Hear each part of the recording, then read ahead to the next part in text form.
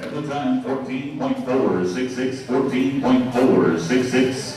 And now, the staff crew